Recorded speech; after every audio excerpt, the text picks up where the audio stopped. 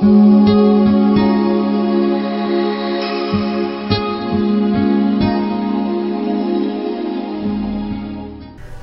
graça de nosso Senhor Jesus Cristo, o amor do Pai e a comunhão do Espírito Santo estejam sempre convosco. Aniversariantes. Parabéns a você que hoje aniversaria neste domingo, dia do Senhor, o terceiro domingo da quaresma.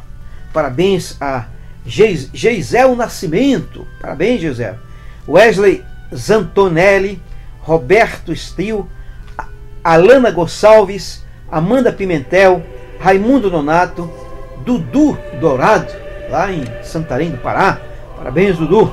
Washington Januário, Cíntia Venâncio, João Newton, Maiara Oliveira, Guto Tavares, Vilma Reis, Raquel Silva, Mônica Mourão, Keuria Cristina, Elmides Pereira, Marineu Alves, Vanusa da Silva, Julimar Ramos, Edilberto Almeida, Diana Barros, Lucas Silva, Antônia Rodrigues e Olíria Martins.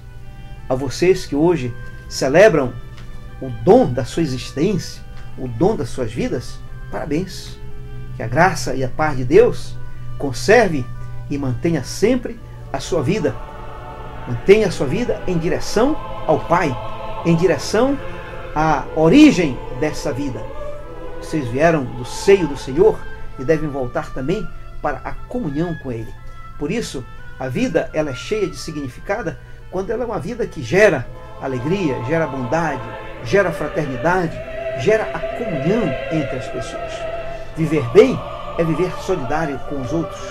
Viver bem é viver na paz e na fraternidade com os irmãos e com as irmãs. Por isso, celebre com alegria esse dom maior que é o dom da sua vida. Parabéns.